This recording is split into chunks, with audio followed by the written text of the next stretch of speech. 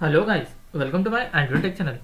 Today I am going to show in this video how to delete permanently Roblox account. So before going to start the video, if you're not subscribed my channel, please subscribe. So let's start the video. Guys, if you want to permanently delete your Roblox account, then I'll show you how to do this. First of all, you just need to open your Chrome browser. Then go to the Roblox support website www.roblox.com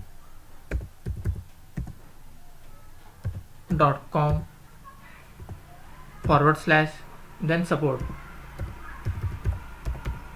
Then hit enter.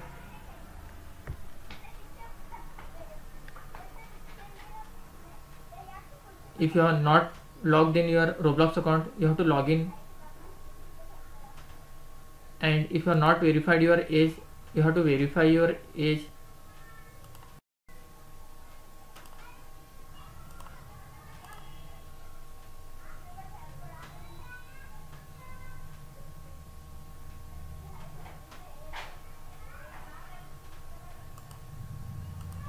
then click on next. After that you can share contact information. You have to enter your username in the first name it is optional. And you have to enter your email id then again you have to confirm your email id below you have to select the issue details. Click on this.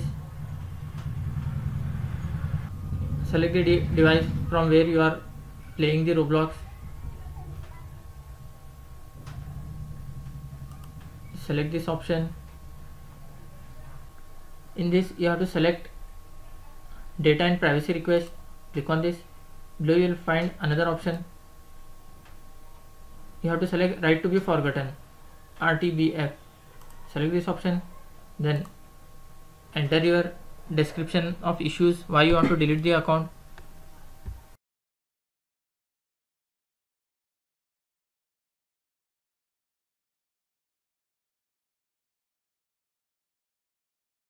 after typing this just tap on submit button.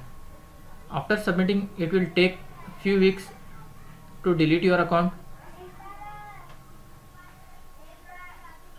And the team will be contact through the email id after deleting your roblox account you can't restore your roblox account once it is deleted.